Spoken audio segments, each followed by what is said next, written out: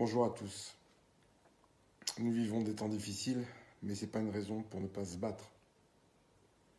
Nous avons tous autour de nous des amis, de la famille, des voisins, qui font partie de cette grande et belle armée des personnels soignants qui se battent 24 heures sur 24 contre cette maladie.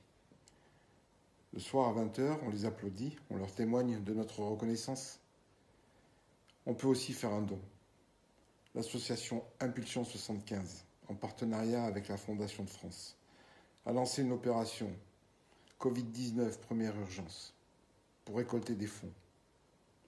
On peut faire un don, un petit, un plus conséquent, comme vous voulez, comme vous pouvez, mais faites-en un don. Je vous remercie.